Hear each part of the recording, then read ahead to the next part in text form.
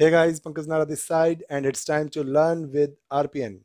Today we are going to understand two Docker components that is Docker images and Docker containers. दोस्तों images और containers का तो discuss करेंगे ही साथ में दो छोटे छोटे टॉपिक और भी लेंगे जो इंटरव्यू के हिसाब से बहुत ही इंपॉर्टेंट हैं और आपके बहुत ही काम आएँगे guys Before understanding Docker images and containers, I hope you are ready with two things. First, you should have an account with Docker Hub, right? Second, you should have an instance where Docker is installed on it. और अगर आप उनके साथ ready नहीं हैं please इस video को यहीं पे पोज कीजिए जल्दी से जाइए डॉकर हब और इंस्टेंस पे लॉगिन करके जल्दी से आइए और फिर इसको अनपोज कीजिए मैं वादा करता हूँ जब तक इस वीडियो को आप अनपोज नहीं करोगे मैं कहीं नहीं जाऊँगा यहीं पे रहूँगा और उसके बाद ही आगे बताऊँगा I promise okay guys I believe you are ready with both now let's discuss Docker images and containers one by one चलिए दोस्तों हम सबसे पहले बात करते हैं डॉकर इमेज की Docker image is nothing it is just a template और you can say it is a read only file which we pull from Docker Hub to create container. We know that Docker image is a Linux snapshot, so it has small part of operating system. दोस्तों हम ये कह सकते हैं कि Docker image Docker container का blueprint है right now let's understand Docker container Docker container is an instance where our application databases or any software run with one Docker image you can create any number of container guys If you still have any confusion in Docker images and containers, no need to worry. लो सभी confusion दूर करने के लिए हम अपनी Ubuntu machine पे आ गए हैं। अरे दोस्तों, मैं आपको वो दो इम्पोर्टेंट बातें बताना तो भूल ही गया।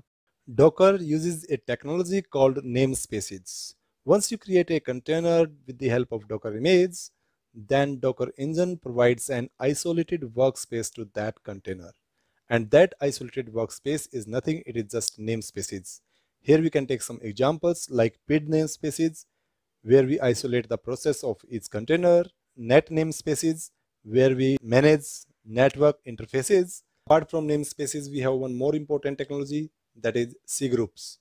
I mean control groups. So as per this technology, Docker sets limit on containers for specific resources. जैसे memory allocations पे limit लगाना. Okay guys, without wasting time, let's go back where Ubuntu is waiting for us. अब मान लीजिए हमें अपने production environment में build और डिप्लॉयमेंट की ऑटोमेशन करनी है चलो इसके लिए जेनकिंस की इमेज को डॉकर हब से पुल करते हैं here is Docker hub console now we are going to search Jenkins here Here you can see a command for pulling the Jenkins image.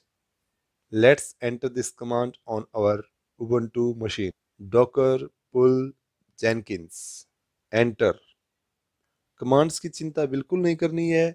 You can get in description now we are ready with image and we can see available images in my machine Docker images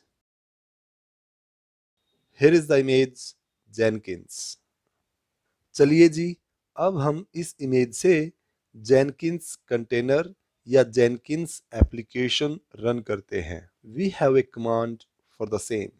Docker run jenkins.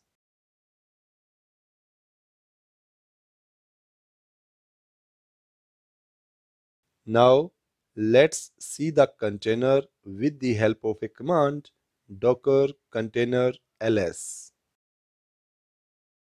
Here we are not able to see that container. The reason behind this is that container is not started If you want to see all containers, whether containers are started or not, please use minus a or hyphen a in the command. Docker container ls hyphen a. Here is the container of Jenkins. चलिए इस container को start कर लिया जाए we need this container ID docker start container id now we are going to use again that command, docker container ls this time we can see the container right दोस्तों, यहाँ पे एक important बात है जो मैं आपके साथ शेयर करना चाहता हूँ। अगर आप इस कमांड को डायरेक्ट चलाते हैं तो ये पहले उस इमेज को पुल करेगी, फिर उस इमेज से कंटेनर को रन करेगी। Are you not getting me no problem let's go with commands let's run a container for Apache server without using pull command and this time we will also start container in background with hyphen d. Let's see images first, docker images. यहाँ पे Apache I mean S T T P D की कोई image नहीं है let's use a command H T T P D दोस्तों ये command S को पुल करेगी और साथ में कंटेनर को हाइफन डी के कारण बैकग्राउंड में स्टार्ट भी करेगी। चलो पहले देखते हैं कि इसने एस इमेज को पुल किया या नहीं। Docker images. ये लो जी, यहाँ पे हम इसकी इमेज देख सकते हैं। चलो कंटेनर भी चेक कर लेते हैं, वो स्टार्टिंग स्टेट में है या नहीं। Perfect, all is well. Container is Started Here you can see when it was created, its status, on which port it is running, which image was used for this container. Guys, after running the container, do we still need that image? Let's try to remove that image. Here is a command docker rmi httpd. ये देखो दोस्तों यहाँ एक error है so here we are not able to remove that image as it is being used as a reference for container. But we can remove that image forcefully and don't worry, there will be no impact on container at all as container does not have dependencies on underlying docker image. Forcefully remove करने के लिए we use docker rmi hyphen f as ttpd Now let's try to restart container. Docker restart container ID. Now it is restarted. Let's check again status of container. ये देखो दोस्तों image delete होने के बाद भी कंटेनर की सेहत पे कोई असर नहीं चलिए दोस्तों कंटेनर की कुछ और कमांड्स जानते हैं अगर आपको किसी कंटेनर से रिलेटेड रिसोर्सेज एलोकेशन या कंजप्शन देखनी है we have a command docker states container id here you can see various informations like cpu utilization memory utilization io utilization if you don't mention container id here it will show information for all containers और दोस्तों अगर आपको Docker के लिए disc utilization देखनी है Docker system DF Here we can see disk space related with images, containers, volumes. We are going to understand these volumes in next part. अगर आपको इस कंटेनर से रिलेटेड बीन्स लिव्स या कोई भी फ़ाइल देखनी है we need bash shell of container.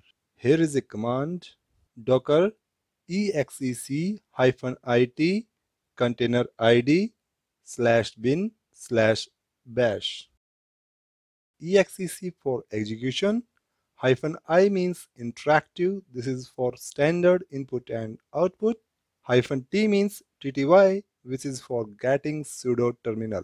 Let's enter the command. Now we are inside the container. Now use a command ls hyphen ltrh guys here we can see all files and directories related with this container. You can change any file if you need और चलिए अब यहाँ से exit कर लेते हैं as we are not going to make any changes as of now दोस्तों, अभी कुछ समय के लिए इस कंटेनर का यूज़ नहीं है, इसको स्टॉप कर देते हैं। We will use a command Docker stop container ID अरे, मुझे याद आया कि इस कंटेनर की तो अब ज़रूरत ही नहीं है। चलिए इसको हमेशा हमेशा के लिए विदा कर देते हैं। To remove container, we are going to use a command docker container rm container id.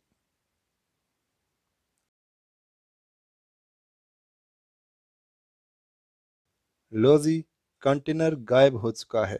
दोस्तों अब मेरा भी गायब होने का समय आ गया है। अगर आज ही हम बहुत ज़्यादा कमांड्स यूज़ कर लेंगे तो कन्फ्यूज़न होगा right I want you to do proper practice before next part In next part, we are going with volumes and network related things. Till then, have a nice time.